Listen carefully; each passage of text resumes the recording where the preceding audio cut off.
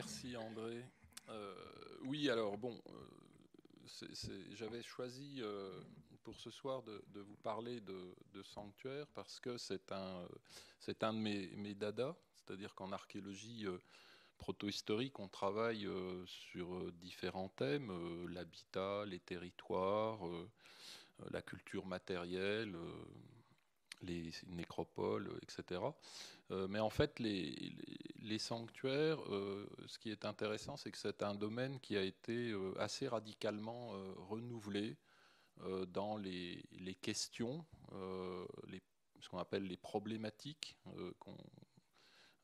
sur lesquelles on travaille à propos de, la religion et des sanctuaires, mais aussi dans les, méthodes d'approche euh, qui permettent d'analyser euh, euh, cette catégorie de sites. Alors, une carte simplement pour vous situer un petit peu l'ère géographique sur laquelle je travaille préférentiellement. Donc un vaste espace qui s'étend des plaines d'Alsace jusqu'à la vallée de la Loire vers l'ouest, et qui correspond en fait au, territoire de, trois grands peuples, les Éduins, les Lingons, les Séquanes. Puis les Roracs, en fait, c'est une tribu euh, des, des Séquanes, c'est une subdivision des, des Séquanes en réalité. Euh, et euh, vous avez sur cette carte également trois sites que je vais évoquer plus particulièrement dans mon propos. Donc Mandeur, qui est situé près de, près de Montbéliard, sur lequel collectivement, avec une équipe, nous avons conduit des recherches pendant une dizaine d'années. Mirbeau, euh, qui est situé euh, près de Dijon, à une vingtaine de kilomètres de, Dijon. Et puis euh, Autun, qui est l'ancienne capitale des Éduins. Autun, Auguste Dunhomme, que j'imagine beaucoup d'entre vous connaissent en raison de sa parure monumentale antique, qui est encore en partie conservée.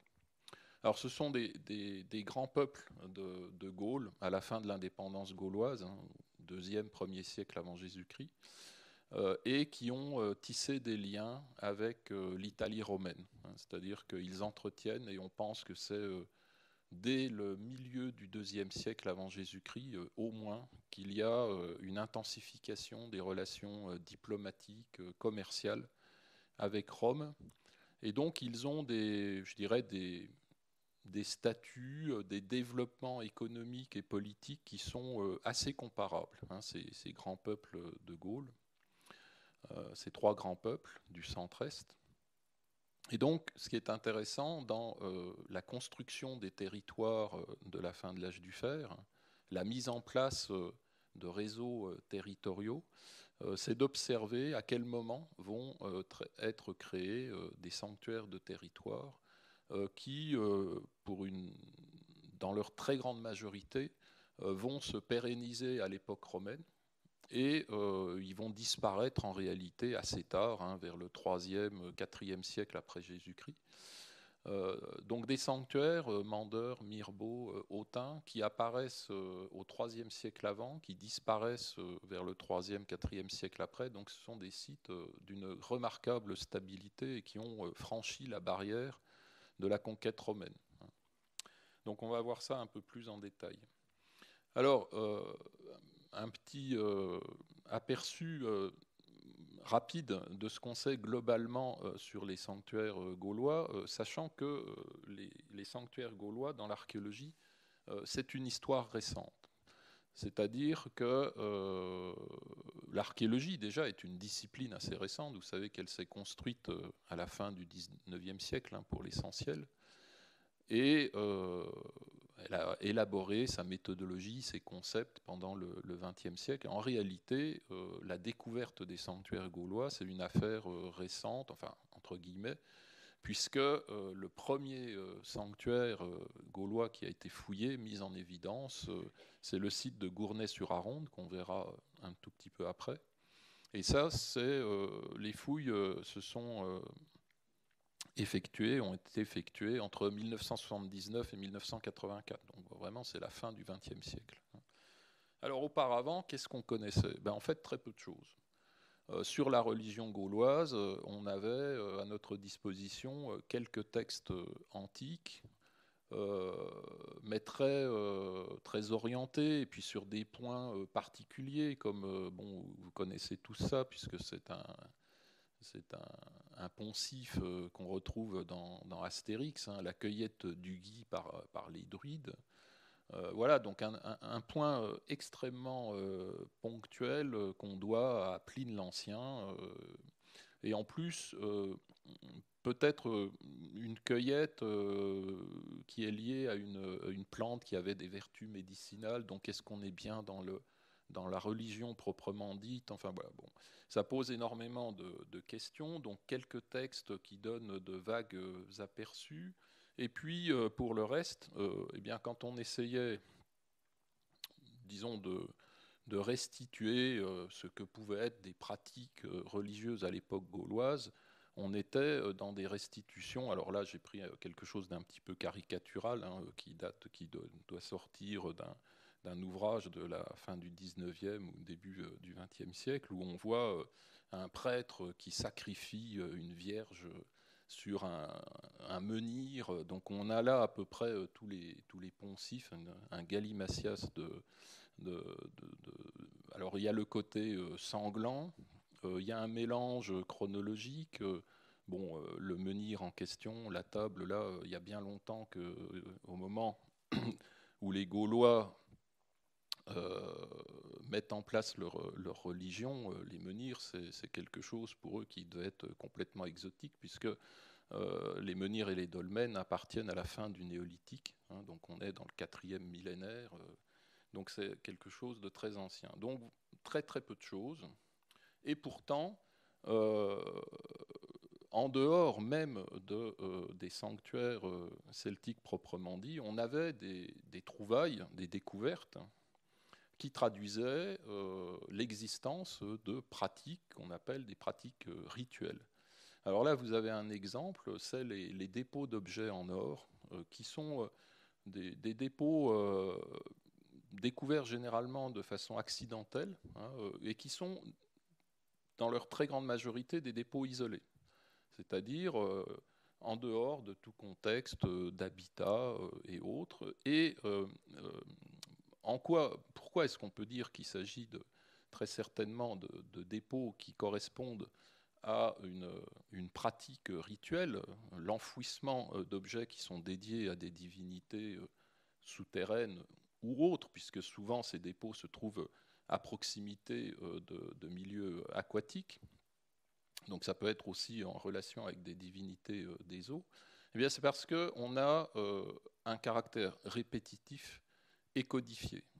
Donc répétitif et codifié, c'est-à-dire que quand on regarde la composition de ces dépôts, on observe qu'il y a systématiquement un torque, comme on le voit ici, donc un collier qui se portait autour du cou, et des monnaies en or. Et à partir du moment où on observe comme ça une récurrence de dépôts qui présentent la même composition, qui sont dans la même catégorie de contexte, à ce moment-là, on a répétition énorme et on peut dire qu'on a affaire à une pratique rituelle. C'est en cela qu'on interprète l'existence de euh, ce genre de pratique. On a également euh, un certain nombre de, statuaires, de statues, euh, qui sont en général assez célèbres, hein, qu'on trouve dans tous les ouvrages. La tête de Mzeke Zerovice, la sculpture de Paul, j'en ai pris euh, quelques-unes, mais qui sont euh, souvent des découvertes anciennes, assez anciennes, et en dehors aussi de tout contexte. Donc s'agit-il de personnages euh, héroïsés? Donc par exemple, dans le cas des sculptures de Paul, puisqu'il y en avait plusieurs, on est à peu près sûr qu'on est dans un culte plutôt domestique. on a trouvé ces statues dans un souterrain et on pense, on les interprète comme euh, des fondateurs d'une lignée qui était euh, honorée à travers euh, ces statuts.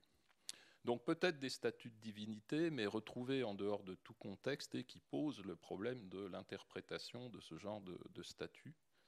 Et puis on a également des œuvres très célèbres, hein, je passe rapidement, comme la plaque du chaudron de Gundestrup, un chaudron trouvé dans une tourbière au Danemark, de la fin du IIe siècle probablement, où l'on a une scène où on voit un personnage avec un torque, un juste au corps, qui tient un serpent à tête de bélier, euh, qui est muni euh, d'une ramure euh, de cerf. Et donc, cette scène raconte certainement une histoire, mais qui pour nous est totalement obscure, puisqu'on n'a pas le texte, l'explication qui nous permettrait de comprendre de quoi il s'agit.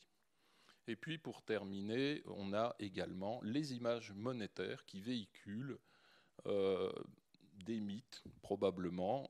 ici, j'ai pris l'exemple d'une monnaie en or où on voit un rapace hein, qui est juché, euh, qui est au-dessus euh, d'un cheval. En dessous, on a le serpent à tête de bélier, qu'on a vu figurer sur le chaudron de Gundestrup.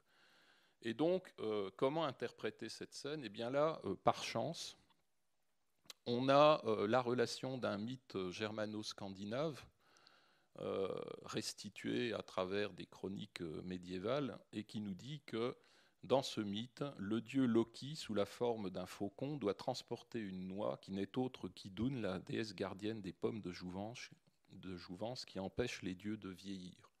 Donc vous voyez comment la relation d'une histoire, d'un mythe euh, scandinave, germano-scandinave, mais en fait les Celtes et les populations, les sociétés germano-scandinaves sont en réalité euh, très proches les unes des autres, peut permettre d'interpréter une image monétaire comme celle-là, mais si on n'avait pas ce texte, on serait bien embêté pour comprendre la signification de cette image.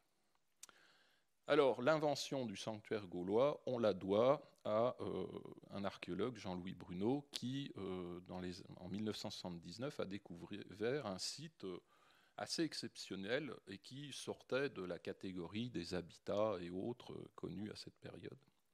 Comment se présente ce site? Euh, euh, on a d'abord un enclos euh, sous la forme d'un fossé qui s'interrompt, donc il y a une entrée. un enclos de forme vaguement trapézoïdale, alors il manque le fossé arrière, mais on peut restituer grosso modo sa forme. Et puis au centre, les traces d'un bâtiment en architecture de terre et bois qui lui-même a été recouvert par un temple, enfin un bâtiment avec euh, deux euh, carrés imbriqués, comme vous le voyez ici, qui correspond au, plan d'un temple typiquement gallo-romain qu'on appelle le phanum gallo-romain avec euh, une partie centrale et un déambulatoire. Mais donc ce temple gallo-romain recouvre une structure beaucoup plus ancienne. Et donc, surtout, ce qui est remarquable avec ce site, c'est que dans le fossé ont été découverts des catégories de mobilier euh, très abondantes, euh, des armes, des ossements animaux, etc. Et donc on a pu, pour la première fois, euh, cet ensemble a été interprété comme réellement un sanctuaire communautaire celtique appartenant à la période du 3e jusqu'au 1er siècle avant Jésus-Christ. Alors dans ce sanctuaire, le plus remarquable, donc, c'est le fossé situé à l'intérieur, euh, ici, ce fossé, qui ensuite a été euh, doublé par une, palissade. Hein. Vous avez ici, dans l'image en bas à droite, euh, je dirais l'organisation de ce système de clôture, hein, où on a un fossé externe, une palissade et un fossé cuvelé en bois. Hein. on a pu savoir qu'il présentait un habillage en bois et ce fossé a livré des assemblages de mobilier très importants sur lesquels je vais revenir. Donc, euh, une des caractéristiques de ces sanctuaires, ce qui a permis de définir le modèle des sanctuaires celtiques à partir du cas de, Gournay, euh, c'est le fait qu'on a un système de délimitation hein, qui sépare euh, le profane du sacré, c'est-à-dire qu'on ne rentre pas euh, dans cet espace n'importe comment, il y a un système d'entrée, il y a une porte, il y a des aménagements, et à l'intérieur s'y déroule un certain nombre de pratiques sur lesquelles je vais revenir, qui donnent lieu à des restes de sacrifices et d'offrandes qui étaient déposés dans le fossé interne. on voit ici une image qui montre des carcasses d'animaux, des boucliers et toutes sortes de choses. Et voilà une, image qui vous montre un peu à quoi pouvaient ressembler ces amas, hein, euh, où on a euh, bah, tout ce qui est sombre. Ici, ce sont des épées, il y a des parties centrales de boucliers, des chaînes de ceinture, de suspension d'épées et énormément d'ossements animaux. Et à partir euh, de toute une série d'analyses, on a pu restituer la physionomie de ce sanctuaire de, Gournay avec son système d'entrée. Et en fait, tout ce qu'on a retrouvé, une grande partie des éléments qu'on a retrouvés dans, le fossé, étaient au départ présentés en hauteur. Donc ça, c'est par l'étude même euh, des, traces euh, laissées sur ces objets qu'on a pu voir qu'ils avaient été abandonnés aux intempéries, suspendus pendant de nombreuses années et au bout d'un certain temps, ils ont été décrochés et on les a enfouis dans, ce fossé. Au moment où on va les décrocher, toutes ces panoplies guerrières hein, qui étaient présentées, on va, euh, les, détruire, on parle de mutilation volontaire, donc on va détruire volontairement euh, ces objets. Et ce, travail, il se fait euh, à l'aide d'une forge. Hein. On ne peut pas ployer euh, ces, lames d'épée euh, n'importe comment. Donc ce travail de destruction volontaire, de mutilation, correspond là encore à un rituel, puisqu'on l'observe, il est codifié, ça correspond, c'est quelque chose qui se répète. Et donc, on a toute une série de, gestes, hein, et à partir des stigmates laissés sur les, les, pièces métalliques, alors évidemment, le bois a disparu, mais à partir des, des traces laissées sur les pièces métalliques, on est tout à fait en capacité euh, de euh, savoir euh, quels étaient les, objets qui ont été utilisés, des marteaux pour l'enfoncement, des épées pour, qui ont laissé des traces de, fente, un cisaillage par des, des, cisailles, etc., etc. Et donc cette pratique qu'on observe, alors qui, pour la première fois, quasiment été documenté à Gournay-sur-Aronde, on a pu ensuite l'observer sur euh, de nombreux autres sanctuaires. Et cette pratique correspond à une volonté de détruire les objets que de cette manière on va dédier aux divinités du lieu. Alors en dehors des armes, on a tout un, je dirais, un traitement des animaux euh, domestiques hein, euh, qui sont sacrifiés alors, les traces de ces sacrifices ne laissent pas toujours de traces, hein, tout simplement parce que, par exemple, si vous égorgez euh, un mouton, euh, une chèvre ou un cochon, comme euh, des animaux domestiques que l'on trouve dans les, sanctuaires gaulois, ça ne laisse pas de traces, l'égorgement. En revanche, dans un certain nombre de cas, on voit des enfoncements hein, de la paroi du crâne, et parfois même cette très précis on peut restituer l'utilisation euh, d'une hache qui a servi à abattre euh, ces animaux. Donc, euh, des, animaux qui étaient sacrifiés. Et ensuite, qu'est-ce qu'on en fait? Ben, il, y a deux, il y a deux possibilités qui sont bien, vous allez comprendre à travers ces, diagrammes, qui restituent les dates d'abattage des bœufs à travers euh, plusieurs sanctuaires, donc le sanctuaire de Fecq, le sanctuaire de Saint-Just en Chaussée, celui du Tittelberg et celui de Gournay-sur-Aronde, on voit qu'il y a deux faciès un peu différents qui, qui apparaissent très clairement, c'est-à-dire des sanctuaires où, dans leur grande majorité, on va abattre des animaux jeunes, donc on les sacrifie, on les abat, et qu'est-ce qu'on va en faire? Ben, On va les consommer. Hein. Ce sont des animaux qui vont être découpés et consommés dans, le cadre de pratiques de banquets collectifs, mais avec une dimension évidemment euh, religieuse, euh, puisque tout ça se déroule dans, les sanctuaires. Et puis on a en revanche une courbe d'abattage euh, très différente avec les cas de Gournay-sur-Aronde et de Saint-Just-en-Chaussée, où en fait on va en très grande majorité abattre des, animaux âgés, c'est-à-dire ce qu'on appelle des bêtes de réforme. Donc ceux-là, ce n'est pas question de les consommer. Qu'est-ce qu'on en fait?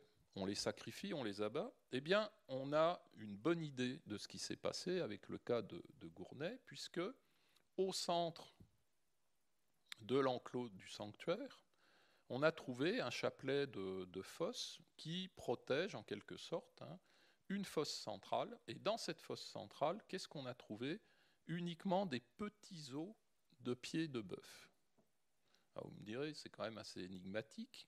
Eh bien, euh, grâce à des expérimentations, euh, l'archéozoologue qui a travaillé sur ces questions, Patrice Méniel, il a pu démontrer qu'en fait, on avait régulièrement mis des bœufs qui avaient été sacrifiés, abattus, à pourrir dans cette fosse centrale. Ce sont en fait, cette fosse centrale, c'est une fosse pourrissoire où l'animal va être laissé à se décomposer et, je ne sais pas si vous avez déjà mangé, mais les jus de décomposition vont nourrir le sol. Et donc on est certainement dans un culte dédié aux forces ctoniennes, c'est-à-dire aux forces souterraines, les divinités souterraines qui vont de cette façon être honorées à travers cette offrande d'une carcasse de bœuf euh, mise à pourrir euh, ici. Et puis ensuite, bah, les ossements, les fragments de carcasse récupérés après un certain, temps vont être déposés dans le fossé à l'extérieur. Donc voilà, en quelque sorte, comment, à travers euh, des traces assez ténues parfois, on peut arriver à restituer ce qu'on appelle la trajectoire, hein, le parcours qu'on subit soit les armes qui d'abord étaient exposées, ensuite ont été détruites et ensuite euh, déposées dans le fossé. Et c'est la même chose pour euh, les carcasses de euh, Gournay-sur-Aronde. Alors j'avance un peu. Dans les dernières années, l'archéologie des sanctuaires a profité d'innovations méthodologiques dont vous connaissez probablement certaines, telles par exemple que la technique LIDAR, c'est un acronyme partir d'une expression euh, anglo-saxonne, mais le principe est finalement assez simple. C'est un moyen, c'est une technique de télédétection par faisceau laser, hein, par laquelle en fait on va à l'aide d'un avion ou maintenant d'un drone, on a plein de drones, enfin plein, on a un certain nombre de drones à la MSHE qui permettent de mettre en œuvre cette technique d'acquisition LIDAR.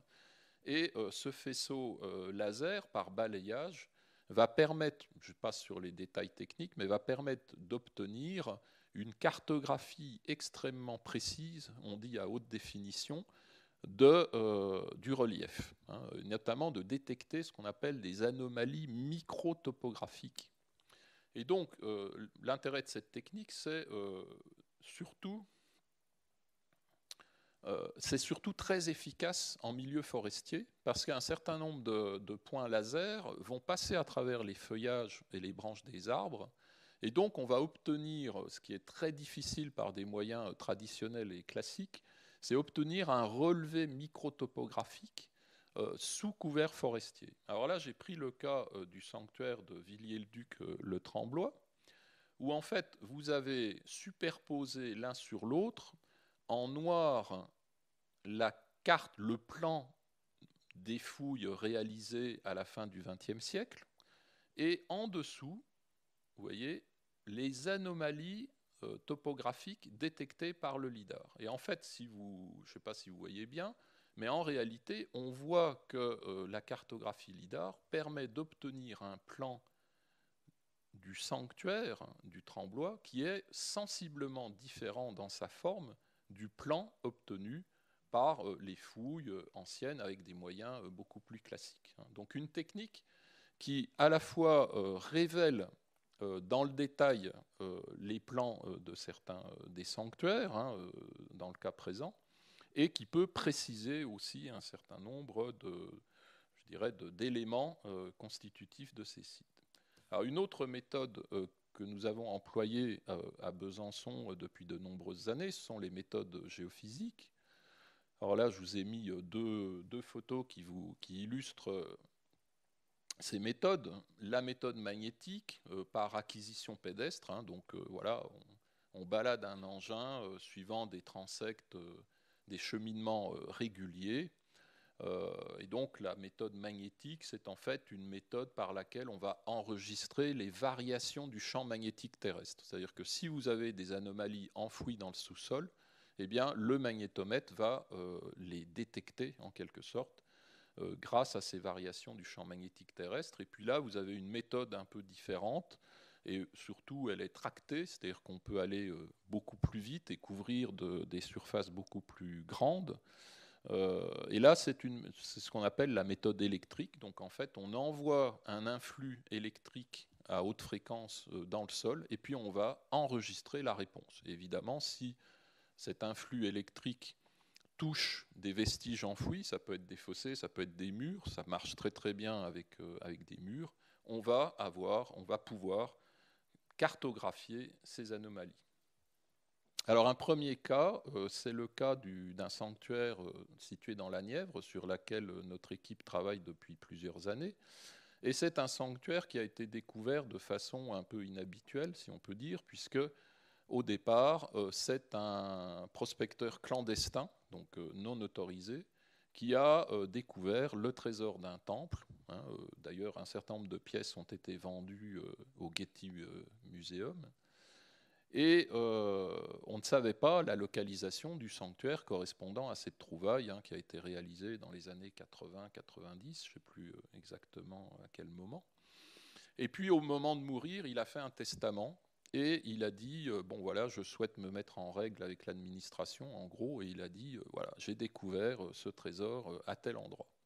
Et donc, le ministère de la Culture nous a passé commande d'une prospection destinée à essayer de, trouver le site en question, précisément, et surtout, grâce à une prospection géophysique, de dresser euh, la cartographie de ce sanctuaire. Et en fait, grâce à une prospection euh, magnétique, eh bien, on a été en capacité de dresser un plan euh, tout à fait complet, hein, assez précis, qui a ensuite orienté les fouilles.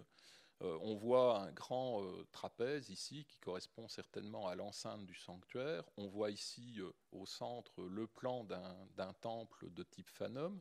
Et puis on a d'autres anomalies euh, qui correspondent, elles, à des fossés, ce qui fait que euh, dès cette phase d'acquisition, on a été en capacité de dire qu'il y avait certainement un sanctuaire gaulois sous le sanctuaire gallo-romain.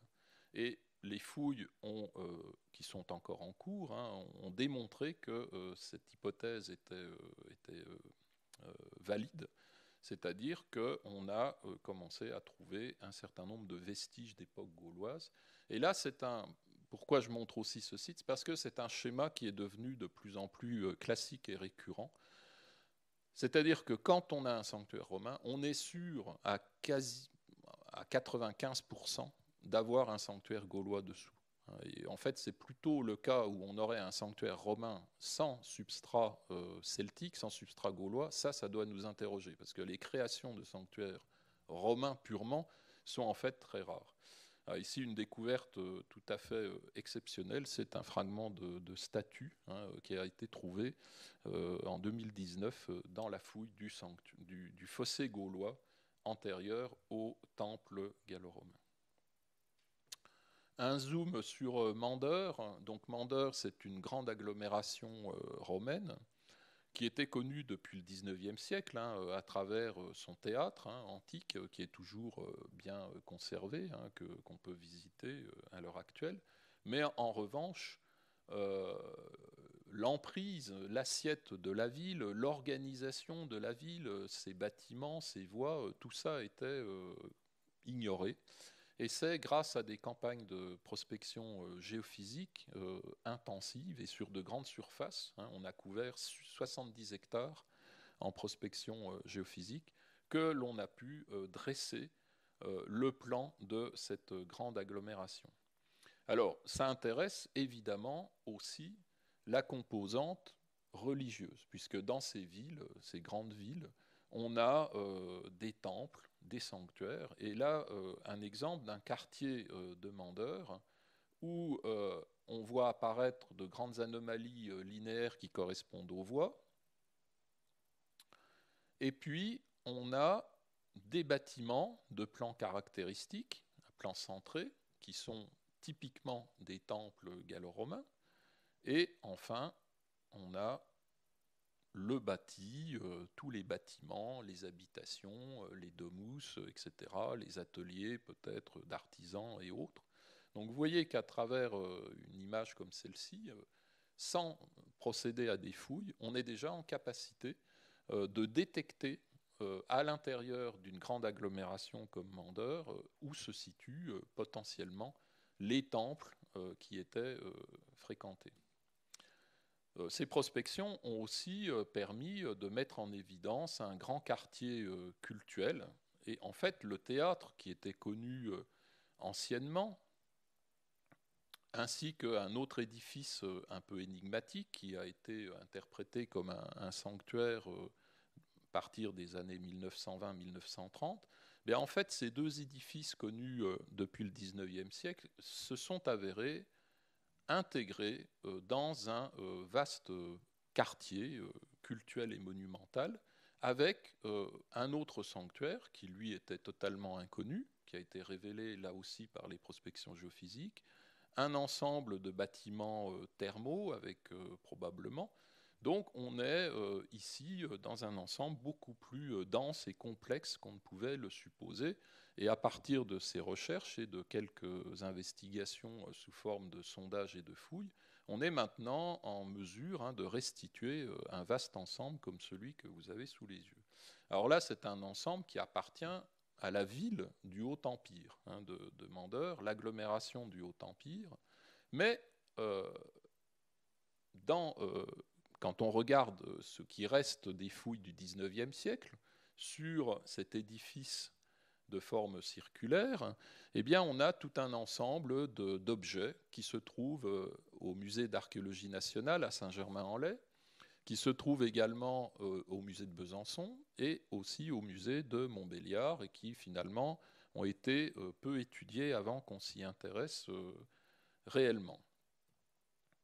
Alors, dans cet ensemble, euh, on a euh, des choses extrêmement euh, variées, très composites, qui montrent que dans ces sanctuaires lathéniens, on trouve des ossements animaux, des, ossements des, animaux qui sont sacrifiés, consommés, voire laissés à pourrir, mais on a aussi énormément d'objets de la vie quotidienne, des objets de parure, des bracelets, des perles, des colliers, euh, des fibules, donc des agrafes à, vêtements, euh, des outils également, des fers de hache, des agrafes de ceinturons, de nombreuses ici, toute une série d'agrafes métalliques de, ceinturons, et puis également de la vaisselle céramique, et avec une particularité, parfois ce qu'on appelle des micro-vases, c'est-à-dire des vases miniatures qu'on peut interpréter par, par, en faisant la comparaison avec ce qu'on connaît euh, dans le monde méditerranéen comme des,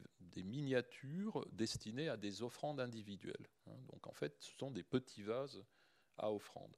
Donc tout ça fait un ensemble assez euh, composite, assez varié, hein, euh, fruit des recherches au XIXe siècle.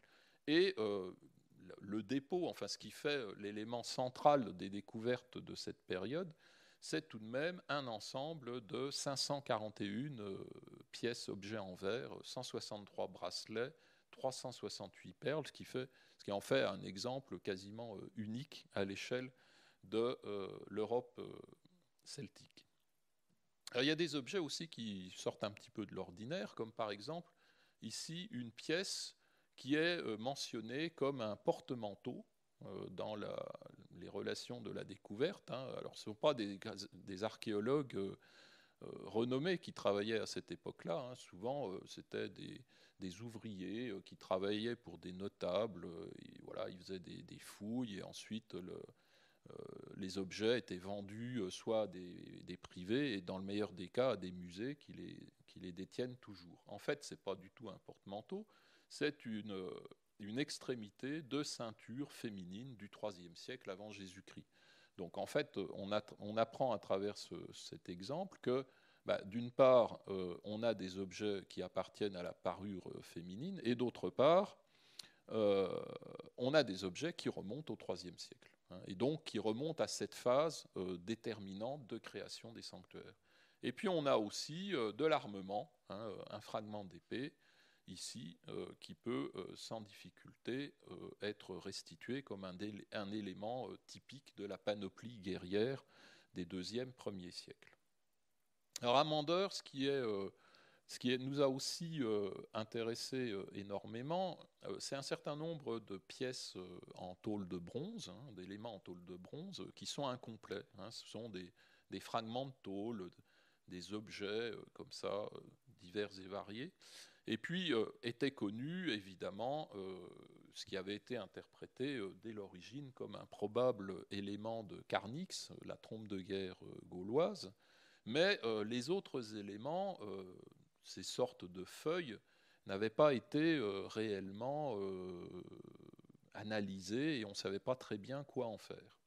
Alors en réalité, d'autres découvertes récentes, comme par exemple le sanglier enseigne de Soulac, qui a été trouvé en Gironde, hein, au bord de, l'Atlantique, hein, sur, sur, la plage, alors démonté. Ici, vous avez une copie de ce sanglier. Eh bien, on peut restituer ces éléments. Eh ben, ce sont des oreilles de sanglier.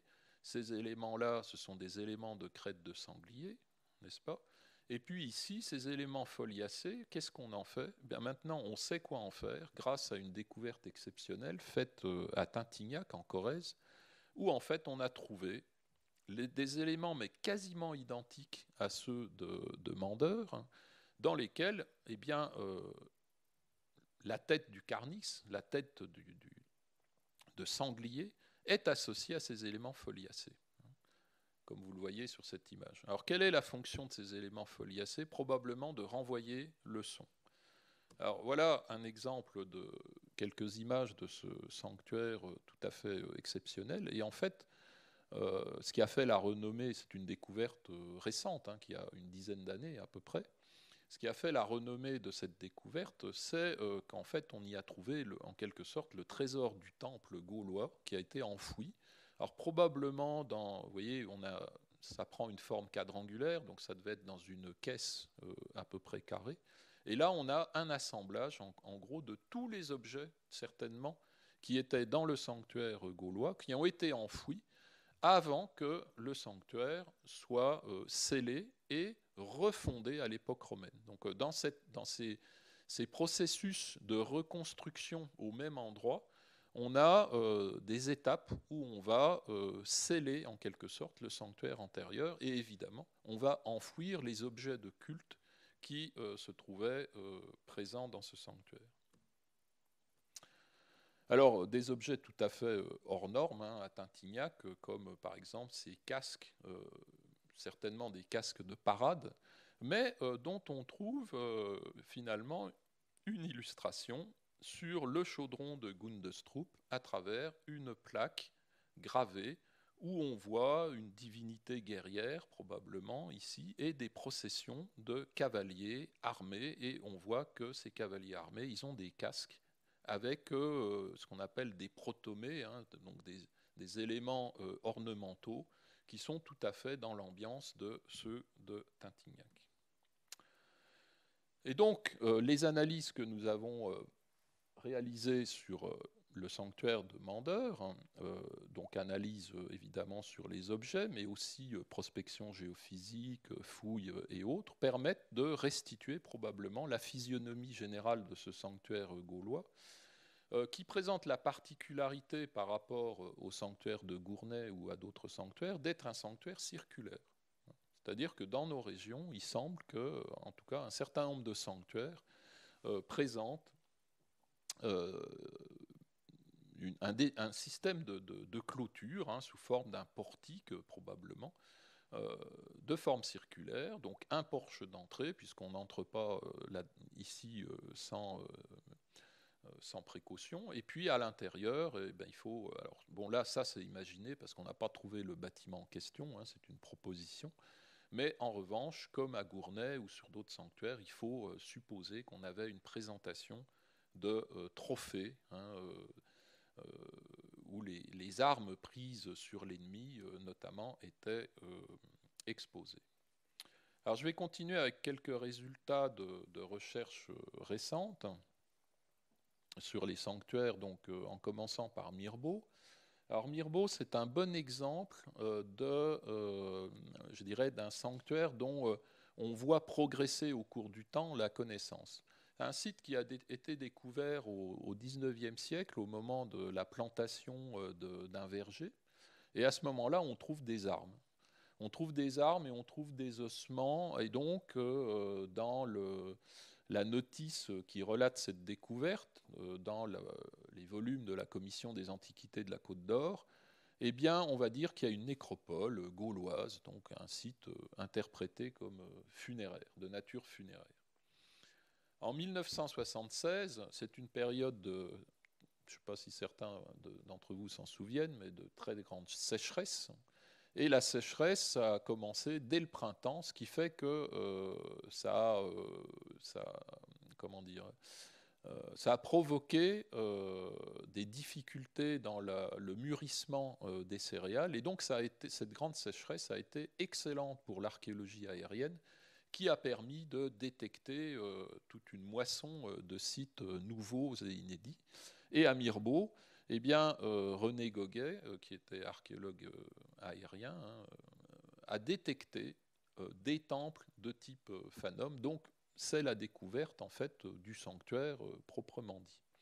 Des fouilles vont avoir lieu entre 1978 et 1986 et elles permettent de révéler alors d'abord effectivement la présence de deux temples gallo-romains, mais aussi des segments de fossés et de palissades associés à de l'armement en particulier, mais aussi des objets de parure, des ossements animaux, et tout ça se renvoie à la période gauloise. Donc on a, dès les années 1980, la preuve de l'existence d'un sanctuaire gaulois enfoui euh, sous les, temples gallo-romains découverts en photographie aérienne. Et puis enfin, euh, dans euh, les années 2000, un projet d'aménagement d'un lotissement, parce qu'on est juste à la sortie de l'agglomération actuelle de Mirbeau, c'est l'approche banlieue de Dijon, hein, on est à 20 minutes de Dijon, euh, donc il y a une pression immobilière qui fait que les terrains euh, sont menacés et euh, le ministère de la Culture va nous solliciter pour réaliser une fouille qui sera conduite sur plusieurs années. Et vous voyez que ici, on a le plan d'ensemble d'un grand sanctuaire avec une très forte densité de vestiges en noir ce qui appartient à l'époque gauloise, et puis en gris euh, tout ce qui appartient à l'époque euh, romaine proprement dite. Et euh, l'intérêt de, Mirbeau, ça a été de, mettre en évidence, pour la première fois dans notre région, eh bien, l'existence d'un grand sanctuaire celtique qui est créé dans les années 300 avant Jésus-Christ, hein, et puis qui va connaître un certain nombre de transformations illustrées par ces vignettes euh, jusqu'en gros au milieu du deuxième siècle après Jésus-Christ. Alors ce sanctuaire, euh, pour aller très vite, il est composé de deux éléments. Une enceinte avec un, vous voyez, un profil un petit peu particulier, et cet aspect curviligne est tout simplement lié au fait que ce fossé enserre une anomalie topographique, c'est-à-dire un, léger relief naturel qui a été euh, mise à profit. Et puis, contre cette, euh, cette enceinte est accolé euh, un enclos qui est en fait qui accueille le lieu de culte principal. Donc en fait, on a une organisation hein, en, deux parties. Et ce qui est remarquable, c'est que cette organisation, elle se met en place en 300 avant Jésus-Christ, et on a des transformations, c'est-à-dire le, le, sanctuaire, il est, il est refait à intervalles réguliers, mais jusqu'à en plein Haut Empire, on a cette même organisation en deux parties. Donc qu'est-ce que ça veut dire? Ça veut dire qu'en dépit de transformations architecturales, puisqu'on va passer d'une architecture en terre et bois à l'époque gauloise à une architecture maçonnée, avec de la pierre, euh, avec des toitures euh, en tuiles, etc., on a gardé la mémoire de l'organisation initiale, et cela sur une durée de plusieurs siècles. Ce sanctuaire a permis aussi d'étudier l'évolution des pratiques de dépôt, hein, avec euh, par exemple ici euh, au IIe siècle euh, des dépôts très diversifiés avec de la vaisselle, des armes, de l'outillage, etc. Donc, ce n'est pas ce qu'on appelle un dépôt primaire, c'est-à-dire ce n'est pas un dépôt organisé. Vous voyez que les, les vases ici, ils ont été jetés un peu dans tous les sens ça correspond en fait tout simplement à une poubelle. C'est une poubelle du sanctuaire. C'est-à-dire que les objets euh, qui étaient utilisés pour euh, soit des banquets, euh, soit pour des offrandes, à un moment, ils devaient être un peu partout, sur les tables, etc. Donc on les ramassait et tout ça était enfoui à l'intérieur du sanctuaire. Donc au IIe siècle, beaucoup de céramique, des objets de parure, de l'outillage, de l'armement, et puis plus on avance dans le temps et plus on va voir euh, disparaître cette diversité au profit euh, simplement euh, d'amas de faune. comme vous avez ici, alors ce qu'on appelle la faune, ce sont les ossements animaux. Hein. Ce sont des amas qui sont tout simplement issus de, la découpe d'animaux qui ont été consommés lors de banquets organisés à l'intérieur de ce sanctuaire. Alors, autre élément, hein, évidemment, c'est l'excellente superposition du sanctuaire gaulois et du sanctuaire euh, gallo-romain. Ils sont euh, l'un sur l'autre. Donc il n'y a pas de rupture.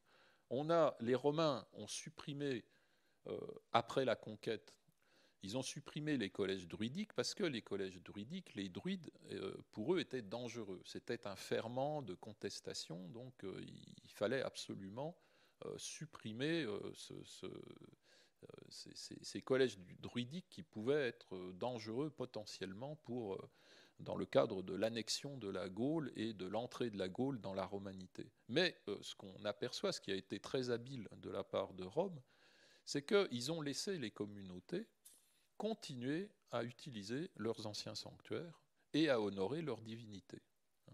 Donc les collèges sacerdotaux ont été mis au pas, mais en, réalité, euh, ce qu'on observe, c'est que, en revanche, les, rituels se sont maintenus avec euh, des évolutions, des adaptations, et euh, en tout cas, les sanctuaires montrent une remarquable stabilité au cours du temps.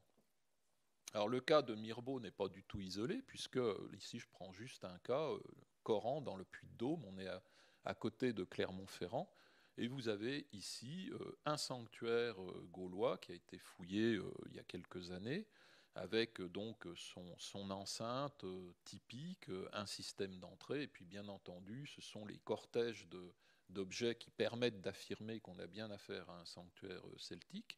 Et au Haut Empire, donc au 1er siècle, eh bien, on a un sanctuaire gallo-romain qui se superpose exactement à l'emplacement de l'ancien sanctuaire celtique. Euh, les études récentes euh, essayent de pousser les choses plus loin, c'est-à-dire non seulement de caractériser euh, les pratiques qui se déroulaient dans ces sanctuaires, mais d'essayer de voir comment elles se localisaient dans le sanctuaire. Alors là, vous avez une image que j'emprunte à une thèse de doctorat d'une de mes étudiantes, hein, qui a soutenu sa thèse en, 2019, Rebecca Perruche. Et en fait, elle a travaillé sur la spatialisation des objets en métal à l'intérieur du sanctuaire de Mirbeau. Donc euh, ces objets, on peut les répartir entre quelques grandes catégories, euh, ce qui appartient aux vêtements, ce qui appartient à la parure, ce qui appartient à l'armement, aux activités culinaires, euh, voire aux autres activités. Alors vous voyez ici un diagramme qui vous montre trois zones différentes. Le fossé de la grande enceinte, ici,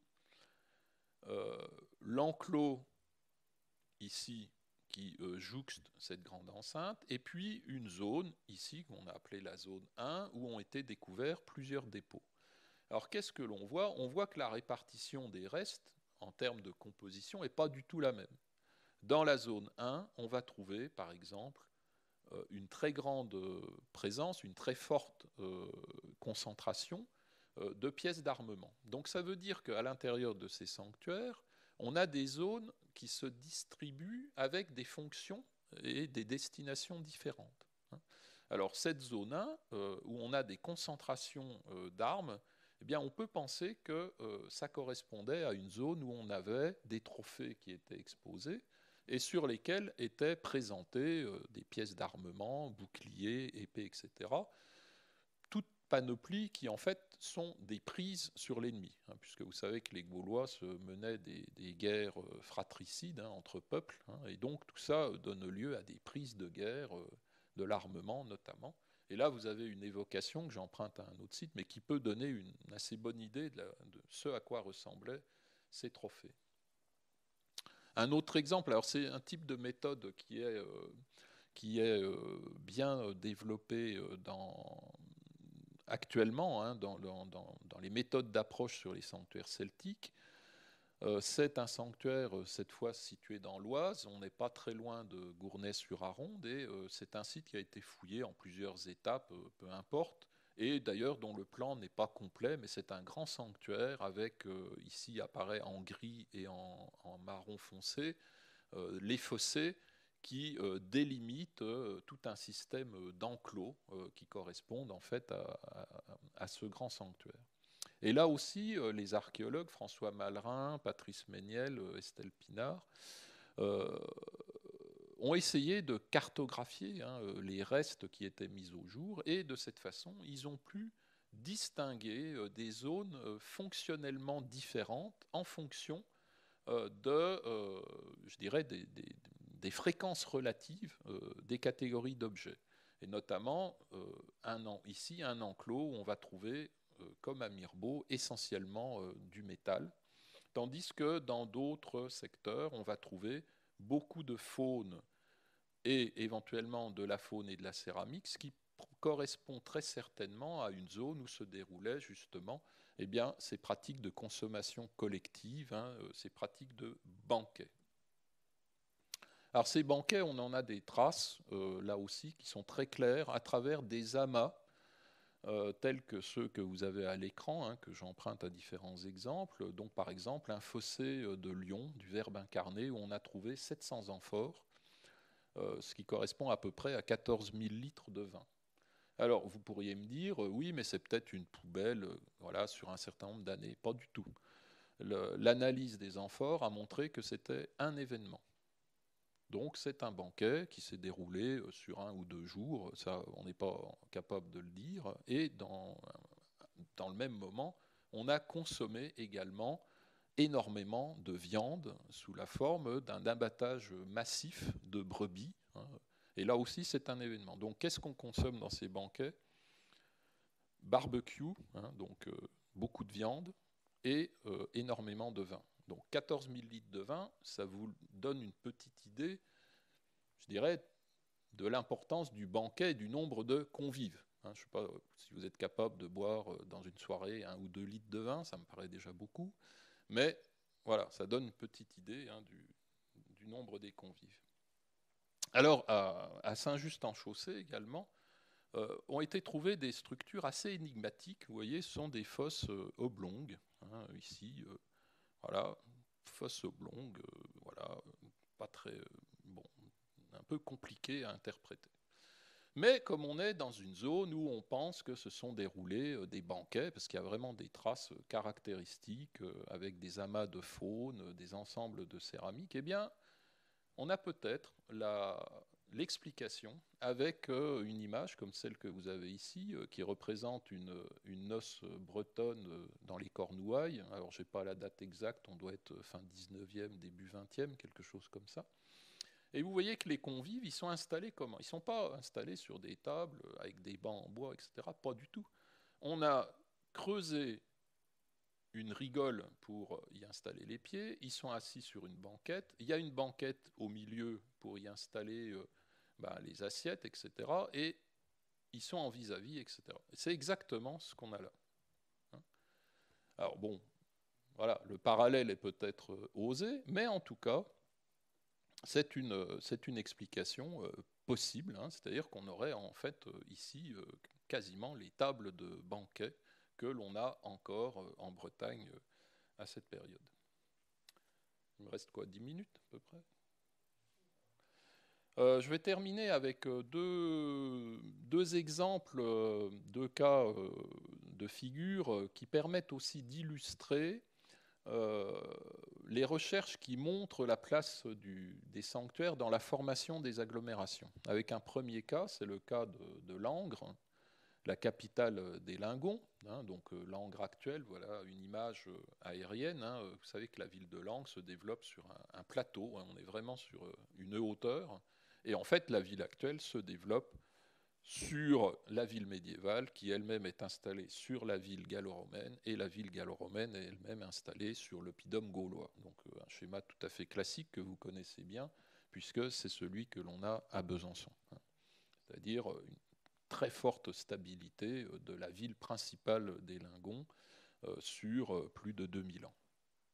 Alors on s'est intéressé dans le cadre de, nos explorations et de nos recherches à un site voisin de Langres, le site de Champigny-les-Langres, hein, qui a été connu depuis le 19e siècle par des découvertes un peu bizarres, un peu ponctuelles, Et en fait, grâce à tout un ensemble de méthodes qui vont de l'exploitation des photographies aériennes. Il y a un gros fonds de photographies aériennes disponible sur ce site. On voit apparaître ici des bâtiments grâce à des prospections euh, au sol, euh, etc., donc tout un ensemble, on a été euh, capable de mettre en évidence l'existence d'un grand, alors une agglomération en réalité, et cette agglomération comporte, intègre plusieurs sanctuaires, hein, au moins trois sanctuaires, hein, ce qui montre que la composante religieuse dans cette agglomération de plaine était importante. La particularité, c'est que ces sanctuaires, qui étaient connus à travers des découvertes de sculptures et de, blocs d'architecture d'époque gallo-romaine, eh bien, ont livré euh, un ensemble monétaire tout à fait euh, conséquent, avec euh, des monnaies qui remontent au plein IIIe siècle, des bracelets en verre, tels que ceux qu'on a vus à Mandeur, qui, avec aussi des pièces qui remontent au plein IIIe siècle avant Jésus-Christ, ce qui veut dire qu'on est là aussi dans cette configuration de développement d'un sanctuaire important à partir du, IIIe siècle avant Jésus-Christ. Et donc, à partir de tout un ensemble d'études, je, vous passe les détails, on a été euh, capable de montrer que la construction de ce pôle de peuplement qui a abouti à l'Angre actuel, eh bien, euh, tout ça se mettait en place en réalité, euh, alors avec des petites occupations dans, le VIe siècle avant Jésus-Christ, probablement, premières occupations, et puis ensuite, on voit s'installer une agglomération de plaine avec son sanctuaire, qui va fonctionner du, au deuxième, au premier siècle avant Jésus-Christ. Et puis à ce moment-là, on voit s'installer l'oppidum gaulois, donc la ville gauloise proprement dite, sur un plateau. Et ensuite, au Haut-Empire, donc au premier et au troisième siècle, eh bien, euh, la ville romaine se développe sur le plateau euh, que je vous ai montré, et l'agglomération de plaine, elle va s'étioler, hein, mais ce qui va subsister, c'est les sanctuaires. La composante religieuse va se maintenir. Donc en fait, on est euh, à travers cet exemple, on a le sentiment que au départ, on a le sanctuaire, et c'est ensuite que l'habitat va se construire et évoluer au cours du temps. Deuxième exemple, et j'en terminerai euh, ici avec cet exemple, c'est le célèbre exemple du déplacement de capital de cité, oui, du déplacement de capital entre l'époque gauloise et l'époque romaine. Donc chez les Éduins, la capitale gauloise, c'est Bibracte sur le mont Beuvray, et je vous invite fortement à aller visiter le site de Bibracte pour ceux qui ne l'ont pas fait, et aussi le musée qui est vraiment un musée euh, tout à fait euh, magnifique. Autour du changement d'air, dans le cadre de la romanisation, euh, la capitale gauloise, qui était quand même située sur un sommet du Morvan, donc, euh, dont l'accessibilité est, difficile, on va installer euh, une nouvelle capitale, une nouvelle ville qui va remplacer l'ancienne capitale gauloise, et on l'installe à une vingtaine de kilomètres de, de Bibracte, à Autun, Augusto du Nôme. Mais en fait, quand on regarde l'emplacement, l'assiette d'Autun, Augusto du Nôme, d'abord on s'aperçoit que le site n'est pas du tout favorable à l'installation d'une ville. Parce qu'ils l'ont placé dans une pente, ça a nécessité de faire des terrassements tout à fait colossaux pour installer la nouvelle ville. Donc le facteur topographique, il n'est pas si évident que ça. Et puis, la question qui se pose, c'est pourquoi à cet endroit? Qu'est-ce qui a présidé au choix de l'installation de cette nouvelle ville? Bon.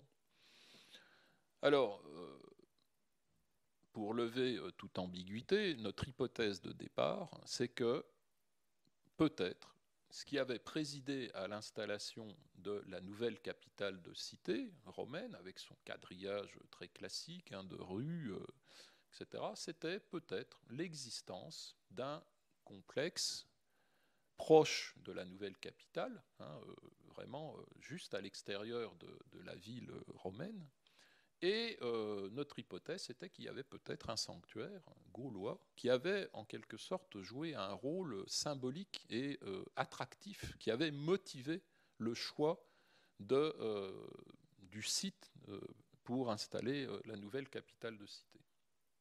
Alors voilà un peu la physionomie des lieux, hein, une image qui vous montre voilà, la, nouvelle capitale qui s'étend sur 200 hectares. Hein, et puis un quartier euh, qu'on appelle un quartier euh, périphérique, euh, et un quartier périphérique dont on ne connaissait jusqu'à une période récente que cet édifice majeur, hein, très connu, qu'on trouve dans tous les manuels, le temple dit de Janus, qui est en fait la partie d'un temple gallo-romain.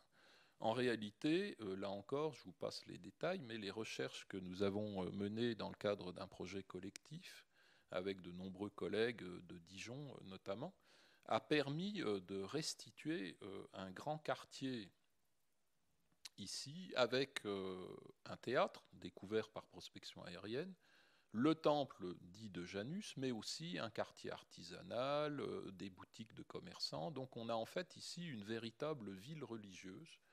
Il faut penser, si on cherche un parallèle, c'est Lourdes.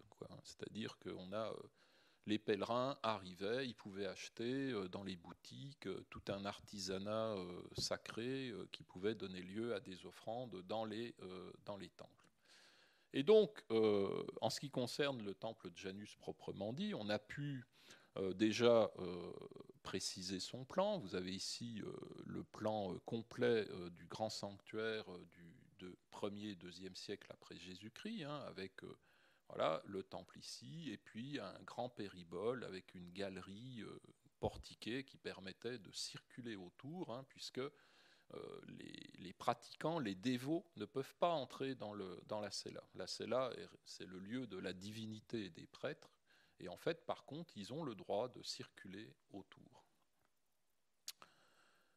On a pu mettre en évidence également euh, le phasage du site, ce qu'on appelle le phasage du site, c'est-à-dire euh, toute sa succession chronologique, avec euh, ici ben, les niveaux euh, les plus tardifs hein, du 1er et du 2e siècle après Jésus-Christ, hein, qui correspondent à, à, l'architecture qui est encore en élévation. Mais cet état est installé sur un état plus ancien. On voit ici très bien le, le sol de cet état plus ancien construit vers 30-70, et puis on peut encore descendre. On a une série de remblais qui ont été installés pour asseoir ce sol, et cette série de remblais elle-même est installée sur un sol en cailloutis qu'on peut dater vers moins 30, plus 30, et ce sol en cailloutis lui-même recouvre des fosses et un état encore antérieur des 2e, 1er siècles avant Jésus-Christ. Donc on a, avec cette euh, stratigraphie, une restitution de toute l'histoire de ce sanctuaire du deuxième siècle avant Jésus-Christ jusqu'au euh, deuxième siècle après Jésus-Christ. Alors, en fait, euh, pour terminer, euh, grâce à un sondage qui a été opéré en plein centre de la cella ici du grand temple, hein, encore conservé en élévation. Alors malheureusement, on n'a pas pu tout ouvrir parce que ça aurait je dirais que ça aurait pu euh, fragiliser euh, les, fondations euh, des murs, hein, même si je pense ça va, ça tient bien, mais bon.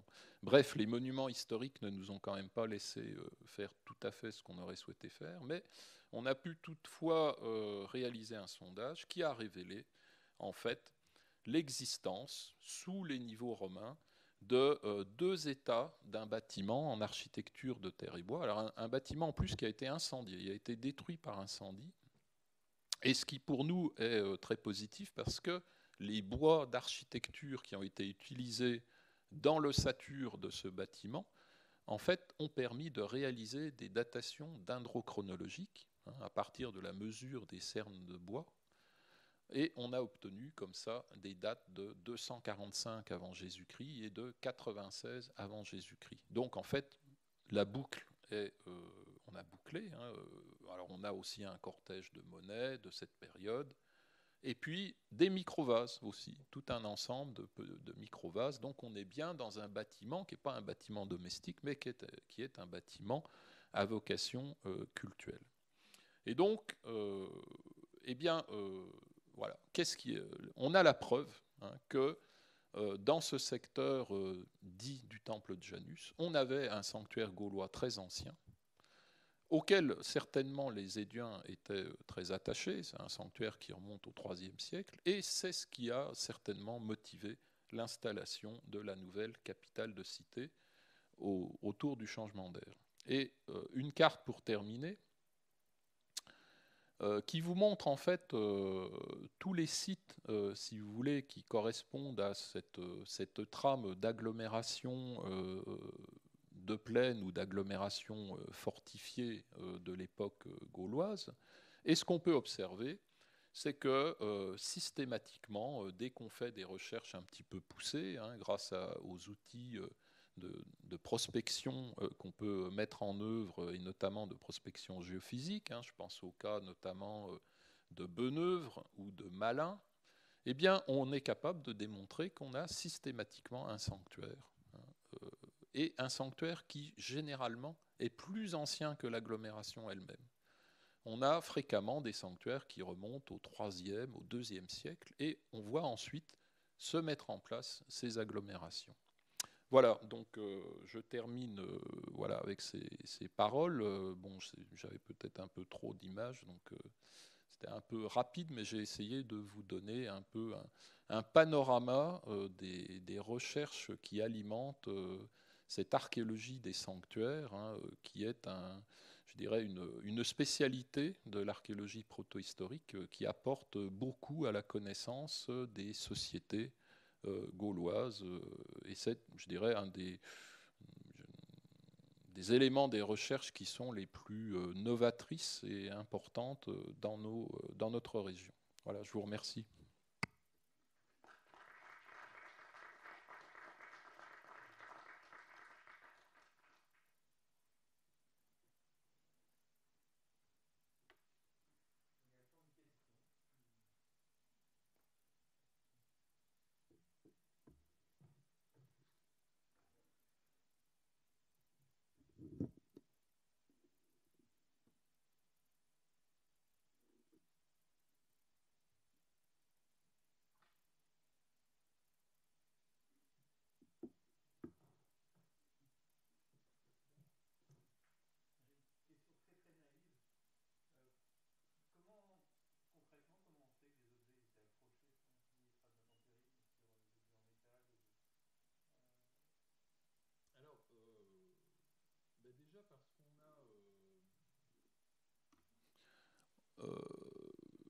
On a un certain nombre de, représentations, euh, telles que par exemple euh, l'arc d'Orange, qui est un arc euh, commémoratif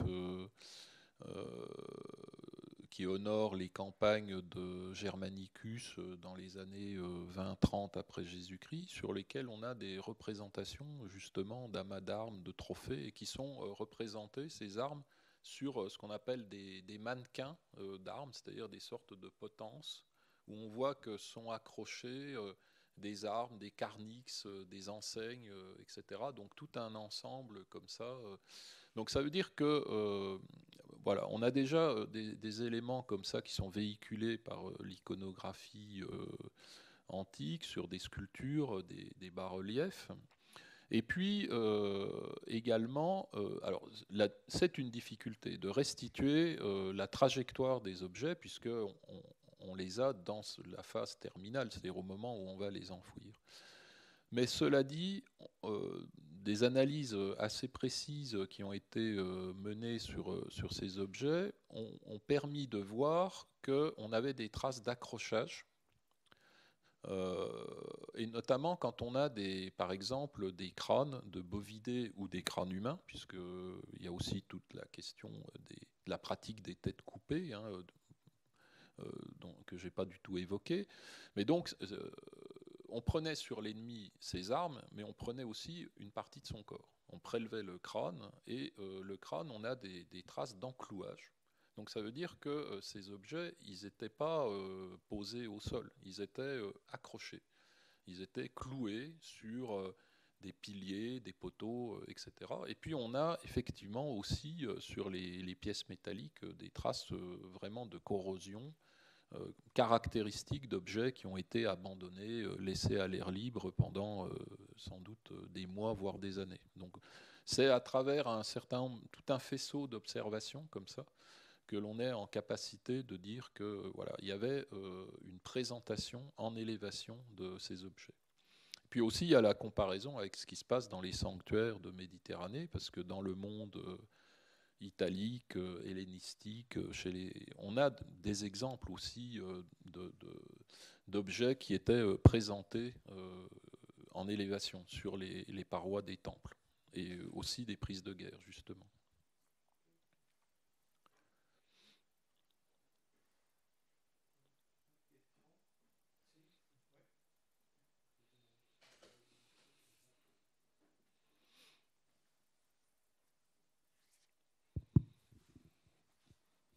Je voulais vous la question sur l'alimentation en eau de ces sanctuaires. Est-ce que cela, vous en avez trouvé des, vestiges, bien sûr?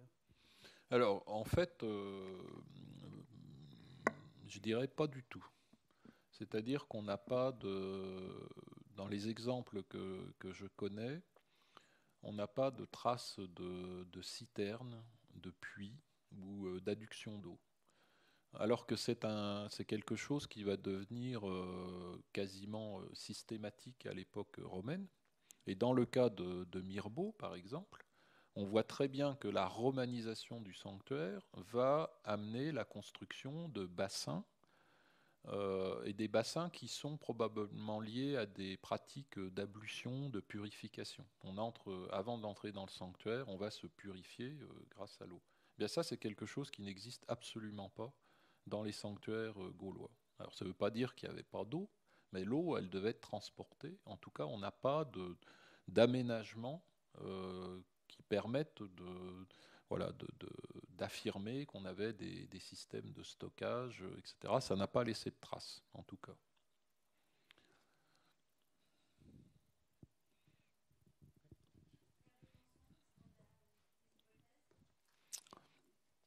Alors à Besançon, euh.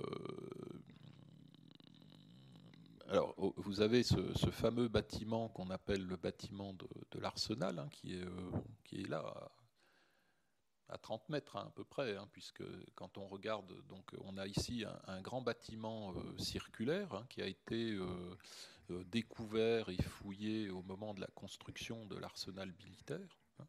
Et euh, grosso modo, euh, son, emprise est euh, dans la cour actuelle ici de l'Arsenal, à peu de choses près. ce site a été interprété d'abord comme ayant une vocation plutôt funéraire, parce qu'on y a trouvé des ossements animaux, des cendres, des objets, etc. Euh, l'hypothèse actuelle, en réexaminant euh, certains éléments de, mobilier, et notamment des petits couteaux euh, rituels, hein, probablement, des, couteaux miniatures, on a exactement les mêmes amendeurs. Et quand on regarde le plan de l'édifice trouvé ici, qu'on appelle l'édifice de Chamard ou l'édifice de l'Arsenal, euh, on a aussi une configuration circulaire euh, qui est celle du, grand sanctuaire de Mandeur. Donc euh, mon hypothèse, c'est que on a ici, juste à côté de nous, un grand sanctuaire gaulois qui reste à découvrir et qui a classiquement été romanisé au Haut Empire, hein, mais en gardant probablement à peu près la même assiette et la même organisation. Donc euh, voilà. Alors pourquoi cet emplacement-là? Eh bien, on est déjà un petit peu en position de, périphérie hein, par rapport au, noyau de, la ville antique, puisque toute une partie de, de Chamar était euh, inondable hein, et probablement euh, inoccupée. et c'est une position qu'on observe aussi à Mandeur. Le grand complexe de Mandeur, il n'est pas au cœur de la ville, il est un tout petit peu à l'extérieur, un peu en périphérie du noyau urbain. Donc on aurait euh, peut-être la même euh, situation. Donc euh, voilà, ce que je pense, c'est que de toute façon, un oppidum gaulois de l'importance de Besançon avait nécessairement un ou plusieurs sanctuaires. Et donc un, des grands sanctuaires de, de, Besançon est juste à côté de nous ici. J'ai répondu à ta question Mais bon, bah, il va y avoir des travaux bientôt. Est-ce qu'on en profiterait pour faire des quelques sondages pour aller vérifier ce qui se trouve à côté Ça risque d'être compliqué quand même.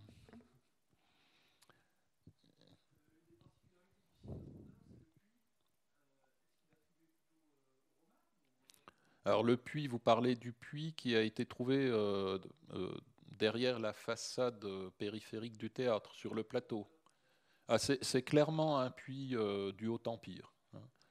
Il n'y a aucun doute puisqu'il est associé au bâtiment de, cuisine qui a été trouvé juste derrière.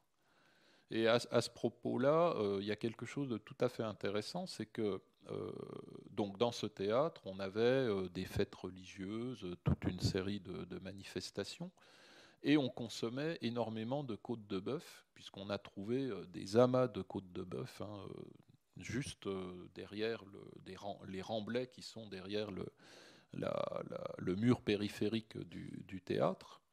Et en fait, ces bœufs, il est très très probable qu'ils aient été sacrifiés, abattus et découpés dans le sanctuaire qui est euh, juste à côté, enfin un des sanctuaires qui est juste à côté du théâtre. Donc en fait, on a. Euh, euh, et ça, ça se met en place dès l'époque gauloise, c'est-à-dire qu'on a des abattages qui sont ritualisés. Hein. et avec ensuite toute une chaîne de découpe et de distribution, de vente de, cette viande hein, abattue dans le sanctuaire.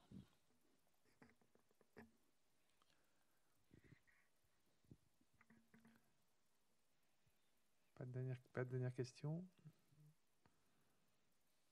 Bon, ben merci beaucoup, Philippe, encore une fois.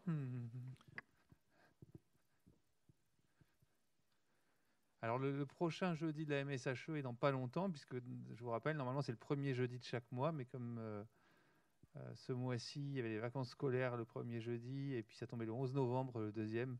Donc, très exceptionnellement, cette année, le jeudi de la MSHE était le troisième jeudi, mais.